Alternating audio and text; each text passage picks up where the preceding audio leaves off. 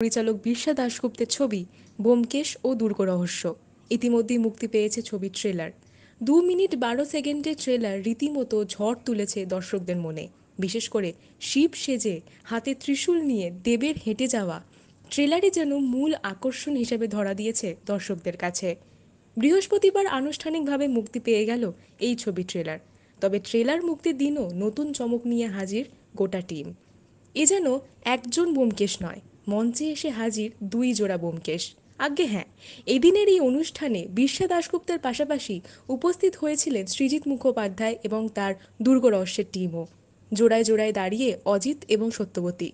দুই ব্যোমকেশকে একসঙ্গে দেখতে পেয়ে বেজায় উত্তেজিত দর্শকও। কি মানুষ কি খুদ বার করবে? আগে নিজেকে প্রমাণ করাকে না, আমিও করতে পারি।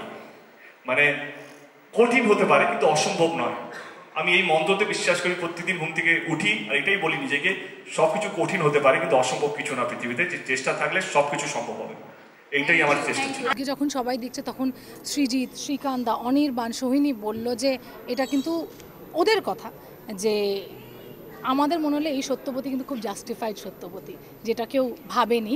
এবং দেখে যেটা লাগল। আর যখন আমি ওরকম ওই লুকে যখন গেলাম, আমাকে দেব সারা শুটিং কিছু বলেনি। তো যখন আমার মনে আছে দেব যখন নিজের ডাবিং করল, আমি অনেক পরে ডাবিং করেছিলাম, বলল যে, তুমি যদি ভালোবাসা পাও, তাহলে সত্যবতীর জন্যই পাবে, এটা এত সুন্দর হয়েছে। সো দেখা যাক। গত মাসেই শেষ হয়েছে শুটিং আর তারপর থেকেই প্রকাশ্যে আসতে থাকে ছবির একের পর এক ঝলক। কখনো অজিত, কখনো সত্যবতী। একে একে সামনে আসতে থাকেন ছবির চরিত্ররাও। সম্প্রতি দর্শকরা দেখে নিয়েছেন ছবির প্রি টিজার এবং টিজারও বরাবরই নতুন চ্যালেঞ্জ নিতে পছন্দ করেন দেব। আর সেই কারণেই নিজেকে প্রতিটা মুহূর্তে ভেঙে নতুন করে গড়ে তোলার প্রচেষ্টায় রয়েছেন তিনি। উত্তম কুমার, আবির যিশু পরমব্রত এবং অনির্বাণের পরে দেব হতে চলেছেন নতুন ব্যোমকেশ তাও আবার ব্যোমকেশকে নিয়ে লেখা শরদিন্দু বন্দ্যোপাধ্যায়ের দীর্ঘ গল্প দুর্গ রহস্যের মতো ছবি তৈরি করছেন তিনি। এর থেকে বড় চ্যালেঞ্জ আর কি হতে পারে? তিনি যে তার চরিত্রটিকে ফুটিয়ে তুলতে বদ্ধপরিকর ছিলেন, সেই চেষ্টাও ধরা দিয়েছে ছবির ট্রেলারে।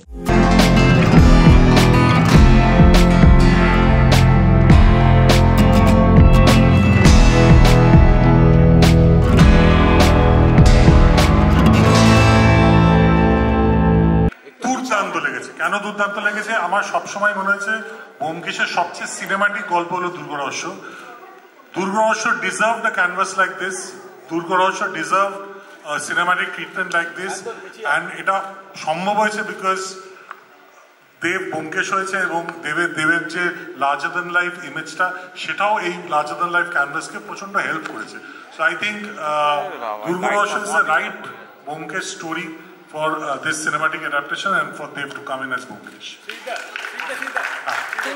হ্যাঁ ওই বল।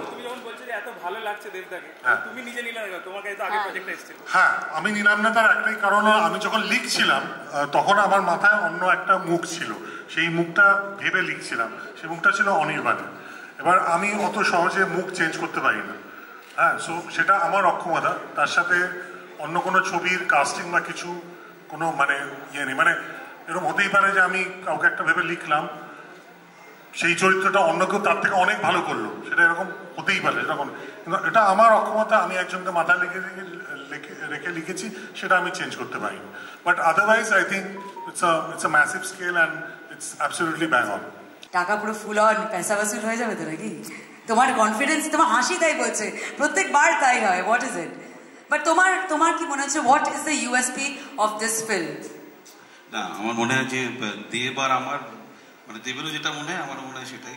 যদি প্রজাপতিকে ছাড়াতে পারে, তাহলে দেবও খুশি হবে, আমিও খুশি হব, এটাই আমার আনসার আমি শুরু থেকেই যখনই জেনেছিলাম যে দেব ব্যোমকেশ করছে, তখন থেকেই আমার জিনিসটা খুব ইন্টারেস্টিং মনে হয়েছিল বিকজ অফ দ্য ফিচার কারণ এর আগেও আমি বলেছি যে অঞ্জনদা যখন শুরু করেন আবিদ্যার সঙ্গে ব্যোমকেশ, তারপর থেকে যারা যারা ব্যোমকেশ করেছেন, তাদের সকলের ফিচার মোটামুটি এক। দেবের ফিচার আমাদের থেকে সরে থাকা। ফলত এটা এটাই একটা বিরাট সারপ্রাইজ এবং একটা নতুন জিনিস যে দেবের মাধ্যমে সম্পূর্ণ একটা অন্য চেহারা আসছে ব্যোমকেশের। কারণ শরদিন্দুবাবুর তো কোনো স্কেচ নেই ব্যোমকেশকে নিয়ে। ফলত আমরা বিভিন্ন চেহারা দেখতে পারি। ফলত এবং ট্রেলার দেখেও প্রি টিজার দেখেও ট্রেলার দেখেও স্টিলস দেখেও আমার সেটা মনে হয়েছে যে সেইটা একদম মানে প্রচণ্ডই ইন্টারেস্টিং লাগছে এবং ট্রেলারটার মধ্যে যেটা দেখলাম মানে ইটস ক্লাস অ্যাপার্ট মানে লুকিং ভেরি বিগ হ্যাঁ? দেব আগে একবার বলেছিল যে ইট উইল বি গ্লোবাল হ্যাঁ মানে সত্যি মানে সারা পৃথিবীতে যত বাঙালি দর্শক আছে বাংলা ভাষায় কথা বলে তাদের কাছে এটা প্রেজেন্ট করার মতো একটা জিনিস আমার ধারণা বানানো গেছে। মানে দেব ব্যোমকেশ আর সত্যবতী সোহিনী। আচ্ছা রুক্মিণী? আমি আমি আছি অলরেডি আমার সেটিং চলছে সাইডে সেটিং চলছে। হ্যাঁ কিন্তু আগে ও আচ্ছা খুব মিষ্টি প্রশ্ন আগুন লাগানো প্রশ্ন। ওর থেকে হ্যাঁ প্লিজ কিন্তু মানে যখন থেকে বোমকেশের জন্য যখন দেব বোমকেশ ডিক্লেয়ার করল যে বোমকেশ হচ্ছে তখন থেকে সত্যবতী খোঁজা হচ্ছিল। এবার বিভিন্ন রকমের মুখের কথা হচ্ছে বিভিন্ন রকমের পোর্টালে দেখছি এই হবে সত্যবতী। কিন্তু আমি ভাবছি কেন রুক্মিণী নয় কেন? কেন ওদের দুজনকে দেখতে এত ভালো লাগে? অন স্ক্রিন অফ স্ক্রিন দুটোতেই তাহলে কেন সত্য মানে রুক্মিণী নয়? তো দেবের সাথে আমার একবার দেখা হলো তখনও ঠিক হচ্ছে। কি করছে সত্যবতী বলো বলো। জানি না, ভাবছি রুক্মিণী। হ্যাঁ ডেফিনেটলি রুক্মিণীকেই হতে হবে সত্যবতী। মানে আর দেখো কি ভালো লাগছে ট্রেলারে দুজনকে। বাট অনেস্টলি শনির সঙ্গে যখন দেখা হয়েছিল, ওই আমাকে প্রথম মানে অনেকের বলে অনেকে বলে বিরিশা বা সন্ধ্যা বলার পরে, বাইরে থেকে যে একজন এস্টাবলিশ সত্যবতী, সে আমাকে প্রথম বলে, রুক্মিণীকে কেন ভাবছ না? রুক্মিণী খুব ভালো যায় সত্যবতী সত্যবতী হিসাবে। তো ইয়া মানে ও মিডিয়ার সামনে বলার জন্য বলছে না, সত্যি এটা বলেছিল আর কি। মানে তখন অ্যাকচুয়ালি আমরা অনেকগুলো নামকে নিয়ে আলোচনা হচ্ছিল। আমরা ভেবেছিলাম বম্বে থেকে যদি কাউকে নিয়ে আসা যায় বা এখান থেকে ওইখান থেকে। তখন she was the first person কে বলেছিল কি, না সত্যবতী রুক্মিণী হলে খুব ভালো হয়। অজিত মোটা কেন হয়েছে? তাদের সঙ্গে কি অজিতের পরিচয় ছিল? আমি জানি না, যারা এই কথাটা বলছেন। আলাপ ছিল হয়তো অজিতের সাথে, আমি জানি না। কিন্তু আমার মনে হয়েছে যে, আমারও প্রথমে একটু অবাকই লেগেছিল যখন দেব আমায় ফোন করে বলল, অজিতের চরিত্রটা তোমাকে করতে হবে। একটু অবাকই লেগেছিল। যেমন সকলেরই লেগেছে। আসলে আমরা যে অজিত দেখে এসেছি, শৈলেন মুখোপাধ্যায় থেকে রাহুল অব্দি কেউই তো ঠিক আমার মতো ছিলেন না। আবার সেখানেই আমার জোর সবচেয়ে বেশি যে ওদের মতো আমি নই, একদমই আলাদা। তবে আমার মনে হয় কাজটা করার পর, কাজটা দেখার পর কথা বললে ভালো হয়। আমার মনে হয় আমি খুব ভালো করেছি এবং সেই ভয়বোধে রাহুল আজকে আসেনি। ট্রেলারের আইডিয়া এই যে মানে খুব ইজিলি যদি আমি ভাগ করি প্রথমেই বলব ফ্যামিলি ম্যান তারপর ফ্রেন্ড ইন নিড তারপরে ট্রুথ সিকার এই তিনটে কিন্তু একসঙ্গে আছে। আর এই ফ্যামিলি ম্যান দিয়ে শুরু করা এই আইডিয়াটা দেবে। সেই ট্রেলার না যেটা আমি পেশাই আমাকে বলেছিল একমাত্র ফেমাস ডিটেকটিভ যে ম্যারিড তার নাম হচ্ছে ব্যোমকেশ বক্সি। অল ওভার মানে পৃথিবী জুড়ে। তুমি যে যে ডিটেকটিভ নাম আমরা শুনে এসেছি জেমস বন্ড হোক না কেউ হোক, যেই হোক না বড় বড় বিখ্যাত একমাত্র ম্যারিড ম্যান যে ডিটেকটিভ তার নাম হচ্ছে ব্যোমকেশ বক্সি যে পপুলার পপুলার জনের কথা বলছি। এবারে আমার সি আমি এটা প্রথম ব্যোমকেশ করছি, আমার নিজের একটা বিবেক আছে, ভাবনা চিন্তা আছে, আমার একটা অ্যাপ্রোচিং একটা যেইভাবে আমি অ্যাপ্রোচ করি, আমার যেটা সবচেয়ে ভালো লেগেছিল ব্যোমকেশের মধ্যে, যেটা হচ্ছে কি, ও নিজের বউকে প্রচণ্ড সম্মান করে এবং সম্মান দেয় মানুষের সামনে। তো আমার মনে হচ্ছিল এইটা কেন থাকবে না ব্যোমকেশের মধ্যে? আমার সেই জন্য মনে হয়েছিল কি সত্যবতী নট বিকজ আমি রুক্মিণীকে চিনি, আমি ব্যোমকেশকে চিনলাম। এবং সত্যবতীকে চিনলাম। আমার সেই জন্য মনে হলো কি একজন ইনফ্যাক্ট আমার প্রথম কন্ডিশন ছিল সুবন্ধুদাকে এবং বিরসাকে, কে একটা বউ প্রেগনেন্ট তার স্বামী সিগারেট খেতে পারে না, দেব অন্তত চায় না। মানে আমারও তো, আমার প্রথম কন্ডিশন দুজনকে ছিল, কি তাই তো? কে এই বোমকে সে সত্যবতী প্রেগনেন্ট এবারে সত্যবতী দুর্গে যাবে। শুধু সত্যবতী না, তারপরে বিরসাও বলল সুবিন্দাও বলল কি শুধু বোমকেশ নয়, অজিতও সিগারেট খাবে না এখানে। তো সেই জন্য ইটস ভেরি ইম্পর্টেন্ট কে ইউনো লাইক কে ফ্যামিলি কাম ফার্স্ট যে যত বড়ই ডিটেকটিভ হোক না কেন, তার বাড়ি যদি ভালো থাকে এবং সে যদি নিজের পরিবারকে ভালো রাখতে পারে সে পৃথিবী জয় করতে পারে সেটা আমার মনে হয়। সেই জন্য এই বোমকেশটা আমরা এরকমভাবে একটু অন্যরকমভাবে চেষ্টা করেছি এবং সেটা যদি অদ্ভুতভাবে ভালো লেগে থাকে না ভালোভাবে ভালো লেগে থাকে সেটা পুরোপুরি তোমাদের ব্যাপার। উদ্দেশ্য একটাই এগারো তারিখে আমাদের ছবিটা রিলিজ হচ্ছে সবাই যেন হলে আসে এবং এই নতুন বোমকেশ প্রচুর খেটেছি আমরা যেটা অজিত ঠিকই বলেছে মানে অম্বরীশ ঠিকই বলেছে প্রচুর খেটেছি আমরা। মানে আমরা জানতাম আমাদের কি কি পয়েন্ট নিয়ে আলোচনা আমাকে চারশো তিরিশটা সিঁড়ি উঠতে হয়েছে শুটিং করার জন্য। এরপরে আপনারা কি করে সমালোচনা করেন আমার? মিনিমাম একটা ভেতরে মানবিকতা থাকলে আর করবেন না। ইনফ্যাক্ট আমরা যখন কাস্টিং নিয়ে হচ্ছিল আমি আর বিরসা বসেছিলাম, আমার মনে হচ্ছিল অলরেডি আমরা মাইনাসে আছি। কে দেব অ্যাসে বোমকেশ অলরেডি একটা ট্রোলিং নিয়েছে একটা ট্রোলিং এ মুখে ছিলাম। এবারে আমি মনে মনেই হচ্ছিল কি উই উইল ব্রেক এভরিথিং কে দেবকে যদি খারাপ হয় I will take the biggest risk of taking Ajit also somebody else আমার অর্থাৎ আমি ওর পরপর কাজ করেছি আমার মনে হয়েছে এই জেনারেশনের মধ্যে one of the bestest actor তার নাম হচ্ছে Ambarish he is brilliant as an actor এবারে আমরা সব সময় টাইপ কাস্ট করে দিই কে এই লোকটা যে- কমেডি করেছে, সে কমেডি করবে, সে সাইড আর্টিস্ট তো সাইড আর্টিস্ট থাকবে, সেটার মধ্যে আমি বিশ্বাস করি না। যে যত বড় মাপের অভিনেতা, তাকে সেই মানে স্বীকৃতি দেওয়া উচিত। আমার মনে হয় যে আমার বোমকেশে মানে আমাদের বোমকেশে বোমকেশ দুর্গ রহস্য হয়তো বোমকেশ অন্য কেউ হতে পারতো কিন্তু দুজন অন্য কেউ হতে পারতো না। একটা হচ্ছে অজিত একটা হচ্ছে সত্যবতী দে আর কিলার শিরায় শিরায় রক্ত আমি দেবদার ভক্ত। কি কি মানুষ কি খুদ বার করবে? আগে নিজেকে প্রমাণ করাকে না আমিও করতে পারি। মানে কঠিন হতে পারে কিন্তু অসম্ভব নয়। আমি এই মন্ত্রতে বিশ্বাস করি প্রতিদিন ঘুম থেকে উঠি আর এটাই বলি নিজেকে সবকিছু কঠিন হতে পারে কিন্তু অসম্ভব কিছু না পৃথিবীতে। যে চেষ্টা থাকলে সবকিছু সম্ভব হবে। আরেকটা কথা বলতে চাই আহ, নোটটায় দেব শেষ করল যে চেষ্টা করলে সবকিছু সম্ভব হতে পারে। কেন বলছি আমি সেটা আসছি? আজকে যখন আমি ট্রেলারটা বসে দেখছিলাম আমি আর শ্রীজিৎ পাশে ছিলাম। শ্রীজিৎ খুব ভালো কথা বলে গেলেন। আমি ট্রেলারটা আগে দেখিনি। আমি বরঞ্চ যখন বেরিয়েও গেছে সো ইউটিউবে আমি কিন্তু দেখিনি তিনটের সময়। I was waiting to watch it on the big screen because এই ছবিটা বিগ স্ক্রিনের জন্যই only and only and only for the big screen আমি টিজার লঞ্চেও বলেছি। আজকেও যারা যারা দেখলেন তারাও ফিল করছে। এবং চেষ্টা করলে সবকিছু সম্ভব হয়। দ্য পার্সন অফকোর্স এখানে শ্যামদা, শ্রীকান্তা, অনির্বাণ, সোহিনী, অম্বরীশ, আমি, দেব, আমরা সবাই কোথাও না কোথাও খেটেছি। বাট যদি আমি শুধু একটা পয়েন্টে যদি সেলফিশ শুধু আমার বোমকেশ ও দুর্গরহস্যের কথা বলি, একটা মানুষ যে ইনসিসেন্টলি কাজ করে গেছে ফ্রম ডে ওয়ান জবে থেকে কথাটা হয়েছে ছবিটাকে নিয়ে। এবং আজকে দুটো বেজে টু ফিফটি এইট পিএম অবধি ইস বিরসা দাসগুপ্তা এই মানুষটা ছাড়া, এই ছবিটা, এই ক্যানভাসটা এই গ্র্যান্ডারটা এই পারফরমেন্সটা সম্ভব হতো না হতো না।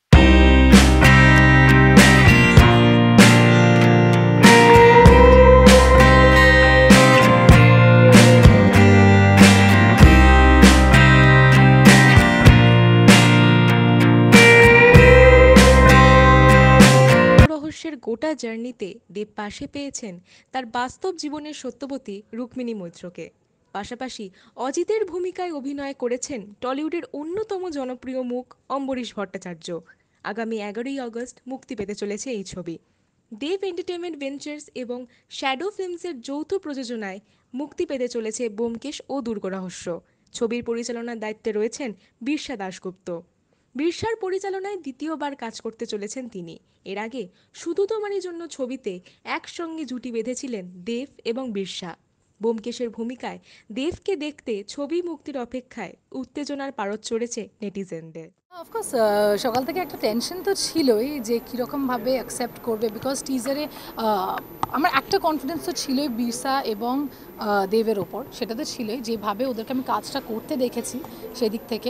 কিন্তু টেনশনটা এই কারণেই ছিল যে আমি ট্রেলারটা দেখিনি বিকজ আমি কালকে ভোর ছটায় ফিরেছি শ্যুট করে অ্যান্ড আমার কিচ্ছুই দেখা হয়নি। আমি জাস্ট ঘুমিয়েছি, উঠেছি, চলে এসেছি। বলার কিছু নেই। দেখো, সতেরো, আঠারো বছর ধরে অভিনয় করছি। আমি তো এতদিনে এইটুকু বুঝি যে কোন চরিত্রটা আমি ভালো করতে পারলাম। তাই অভিনয়টা করে আমার মনে হয়েছে ডাবিং করে যে অজিত চরিত্রটা আমি ভালোই করেছি। হ্যাঁ? দেখো, আমার, এটা আমার বিশ্বাস যে যে কোনো দুটো সুপারস্টার যে কোনো দুটো সিনেমা যে কোনো বড় ডিরেক্টর যে কোনো এদের মধ্যে যদি রেশারেশিটা এদের মধ্যে যদি আলোচনা, সমালোচনা যদি মিডিয়াতে না হয় তাহলে ওরা রেলিভেন্ট হয় না। এটা আমার বিশ্বাস। কিন্তু এটাও আমার বিশ্বাস যে একটা পয়েন্টে আসে যেখানে দেখাতে হয় যে আমরা কিন্তু যেটা সবাই লিখে যাচ্ছে, যেটা চর্চা আছে, সেটা কিন্তু আসল সত্য নয়। সত্যটা এটাই হলো যে at the end of the day এইটা হচ্ছিল ফর দ্য বিগ স্ক্রিন যেভাবে তোমরা দেখছ, যেভাবে মাউন্টিংটা হয়েছে ক্যানভাসটা হয়েছে, এটা সিনেমা হলে গিয়ে দেখারই ছবি। আমি কাউকে চুপ করানোর জন্য না, আমি সবাইকে এই ছবিটা করার একটাই কারণ সবাই যেন খরচা করে টিকিটটা কাটে। প্লিজ চুপ হবেন না। প্লিজ টাকাটা রেডি রাখুন, যাতে সিনেমা হলে গিয়ে টিকিট কেটে সিনেমাটা দেখুন। কারণ কী হচ্ছে না, এটা সাহস। মানে একটা গল্পকে আমরা এই লার্জার মানে লার্জ লার্জ স্কেলে শ্যুট করা যেতে পারে। এবারে যদি প্রডিউসাররা তাদের টাকা যদি না পায়, তাহলে আমরা আবার সেই ড্রয়িং রুমে ফিরে যাব বোমকেশকে নিয়ে। মানে শুধু আমি না মানে এটা মানে যদি আমি একমাত্র বোমকেশ মানে এইটাই একটাই বোমকেশ করব এরপরে আমি বোমকেশ করব না। কিন্তু যারা করবে, তারাও যেই প্রযোজকরা সাহস পাবে কেনা টাকা ফেরত আসতে পারে, বড় স্কেলে যদি বোমকেশে শ্যুট করা যায়। তো আমার অনুরোধ সবাইকে, যদি ভালো লেগে থাকে, তো প্লিজ হলে এসে ছবিটা দেখবেন। ফলে আমার কোনো সংকোচ নেই চরিত্রটা নিয়ে। চরিত্রটা দিব্যি এবং যেভাবে ডিজাইন করেছেন আমাদের চিত্রনাট্যকার শুভেন্দুদা তাতে করে অজিতের কিন্তু একটা ভীষণ গুরুত্ব আছে এই ছবিতে। অজিত শুধুমাত্র একটা ফিলার হিসেবে এই ছবিতে নেই। মানে শুধু আসে ব্যোমকেশ যখন চিন্তায় পড়ে যায়, মাথা চুলকোতে চুলকোতে বলে, অজিত, বুঝলে? অজিত মাথা নাড়ে। এত এরকমই আমরা দেখে এসেছি অধিকাংশ অজিতকে। এই অজিত কিন্তু সেরকম নয়। এই অজিত গান গায়, এই অজিত মজা করে, এই অজিত রহস্য সমাধানে গিয়ে সাপের ভয় পায় যেটা আমরা ট্রেলারেও দেখলাম। এ একজন রক্তমাংসের সাধারণ মধ্যবিত্ত মানুষ যে সাহিত্যের সন্ধানে তার একটা বন্ধু যে একটা হিরোর মতো যে একজন গোয়েন্দা তার সঙ্গে ঘুরে ঘুরে বেড়ায় এবং এর মূল লক্ষ্য হচ্ছে একটা জায়গায় গিয়ে বিভিন্ন মানুষ দেখা সেই এলাকাটাকে এক্সপ্লোর করা এবং এর বন্ধু যে রহস্যটা সমাধান করল কীভাবে করল সেটা তার উপন্যাসে লেখা। এই কিন্তু গুলি চালাতে যায় না। এইটা আমার কাছে প্রথমেই ক্লিয়ার ছিল। এই লোকটা আসলে আনন্দ করতে যায়। বেড়াতে যায়। এ হচ্ছে সাধারণ আপামর বাঙালি, মধ্যবিত্ত বাঙালির একজন প্রতিমূল যে বেড়াতে ভালোবাসে, যে রহস্য দেখতে ভালোবাসে, আসলে এ দর্শকের প্রতিনিধি। সেই জন্য আমার বারবারই যত- যতবারই আমি শরদিন্দু পড়েছি, আমার মনে হয়েছে অজিত চরিত্রটা, যখন পড়ছি আমি পাঠকের পয়েন্ট অফ ভিউ যখন সিনেমায় দেখব, তখন দর্শকের পয়েন্ট অফ ভিউ এবং গোটা ছবিটা, এই যে দুর্গ রহস্য, দর্শক অজিতের চোখ দিয়েই দেখতে পাবে। দুর্গ রহস্য শুধু শরদিন্দুর। সেটাকে আমরা অ্যাডাপ্ট করছি। আমি করেছি বড় পর্দায়। সুইত করছে ওটিটিতে আমাদের মধ্যে কোনোদিন কোনো সমস্যা ছিল না। দর্শকের মধ্যে ছিল কি? দর্শক দুটোই দেখতে পারেন। একটা হলে টিকিট কেটে আর একটা হয়েছে সাবস্ক্রাইব করে। দেখো এইখানে না আমি বলব দেবও লাকি আমিও লাকি। যে শরদিন্দু বাবু দুর্গরহস্য দুর্গ রহস্য যখন লিখেছেন তখন উনি তার আগে না অনেক বছর বম্বেতে হিন্দি সিনেমা স্ক্রিপ্ট লিখেছেন।